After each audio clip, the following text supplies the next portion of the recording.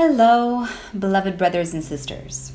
We are approaching a very special and magical day within the year, a day dedicated to honoring light, love, the abundance of our earthly existence, and a day for recharging our body, our mind, and our soul.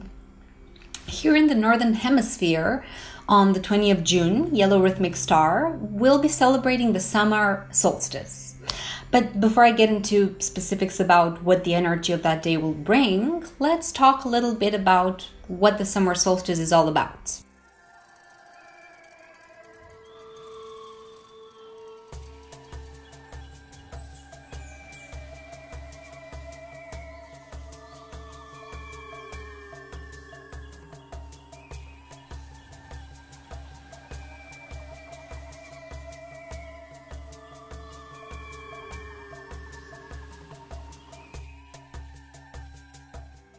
The summer solstice marks the longest day within the year when the sun is at its highest altitude above the horizon, announcing the summer season. While in the springtime you've been planting seeds and starting new projects and embarking on new beginnings, the summer comes to bathe you in its sunlight so that you can see what the seeds of your hard work have grown into. The summer solstice signaled the beginning of the most abundant, bountiful, and beautiful season where, in more practical terms, the seeds of the hard work of cultivating the land were sown. When the summer comes, it's finally a time to take a rest and to enjoy and taste and treasure and celebrate the abundance of the land. The word solstice comes from the Latin word sol, meaning sun, and sistere, which means to stand still. During the summer solstice, the sun reaches its highest point in the sky, as seen from the northern hemisphere, and seems to stand still if we observe the precession of um, the equinoxes, where the sun sets on the horizon day after day, and it appears to move either towards the north or the south, around the summer solstice, we'd notice that the sun seems to um, set in the exact same position for three days in a row before it starts making its transit in the opposite direction. On this day, the tilt of the Earth, here in the Northern Hemisphere, is more inclined towards the Sun. The summer solstice always takes place between um, the 20 and the 22nd of June. During this day, we are bathed in the energy coming from the sun, filling us with a lot of vitality and power.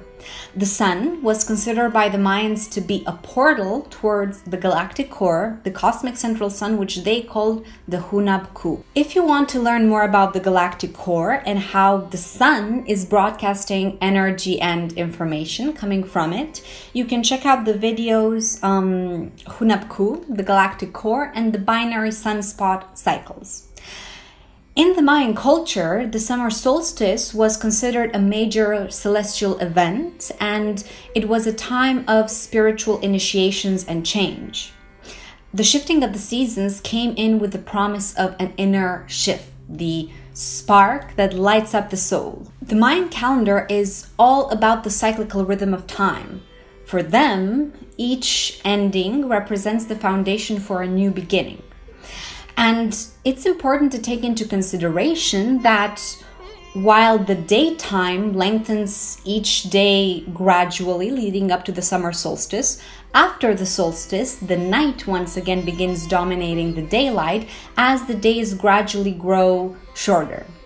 This is why the summer solstice serves as a pivotal point in our yearly journey around the sun and through the seasons, and uh, our journey through the spiraling dance of the forces of light and darkness. It's a reminder of the constant spiraling motion of the seasons that nothing lasts forever and that we should enjoy beauty and abundance and good times while we have them there's no time to stress out about insignificant details or fruitless struggles or negative thoughts. it reminds us that it's all about being present in the moment as much as humanly possible. Which is why the summer solstice is an invitation to fully embrace everything that we love about life the sun is shining bright, the nature is green and vibrant, the weather is warm, and the world is lush and filled with bountiful treasures. Now, the Mayans were keen observers of the movement of uh, the sun and the planets, and the solstices and the equinoxes were very important dates for them. If you want to dive a little deeper into understanding who the Mayans were, um, you can watch the video Who Were the Original Mayans. The Mayans would hold special ceremonies on solstice dates, and they actually constructed a lot of their sacred cities and temples, keeping the solstices and the equinoxes in mind, such as Tulum, Chichen Itza, Uxmal. For example, at Chichen Itza, the main pyramid, known as the Temple of Kukulkan, is built in such a way that during the summer solstice, the sun casts a perfect shadow on the south and west sides, looking as if it's split in two. The spring equinox in March is even more impressive on this pyramid, but we'll be talking about that um, closer to the equinox well, when I'll be making another video on this topic. Also, at Tulum pyramid sites, um, which is one of the um, last built by the Mayans on the Caribbean coastline, the main temple, El Castillo, was designed to align perfectly with the sun on the summer solstice.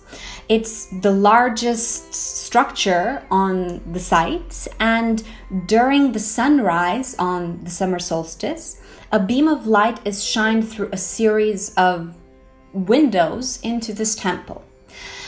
Now, regarding the energy of the day on the 20th of June yellow rhythmic star, Yellow star is the star seed archetype, the one who opens us up to galactic wisdom and knowledge. It carries a double power, as we see here in the glyph the power of the star, representing the connection to the spiritual realms, and the power of the seed, represented by the four dots around the star, offering us the ability to incarnate, grow, and blossom on this earth.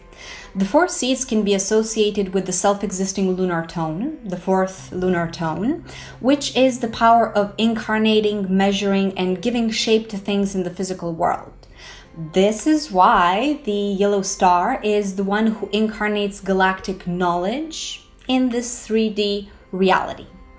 Yellow Star is also an agent of harmony, beauty, elegance, radiance, and it teaches us how we can harmonize our being through self acceptance and love. It helps us shine brighter by harmonizing ourselves with the physical world around us. It also helps us harmonize our personality with our soul. And it teaches us that every moment is like a blank canvas upon which we can paint our own reality. So it invites us to um, reflect on the reality that we are creating, making us understand that the outside world is a reflection of our inner world. So if we perceive disharmony in the world around us, this is because there's disharmony within. Basically, Yellow Star makes us look at all of our thoughts, our intentions, our words, our emotions, and our actions that are shaping our reality. Yellow Star, being the archetype of the artist, it reminds us that life is our biggest work of art that we will ever create. And that being said, I recommend you to also watch the video Time is Art, which is a contemplation on this topic. And for the rhythmic tone, representing um, the sixth lunar tone, this lunar tone carries the power of transforming our individual self and our personality so that we can attune more deeply with the needs, wishes, and the desires of our higher self. It's the ability to connect with higher aspects within us, representing a time when we can build a more deeper connection with our higher self. It gives us the ability to organize our reality, to balance ourselves, to find our inner rhythm, and to find the balance between the higher and lower dimensions through our being.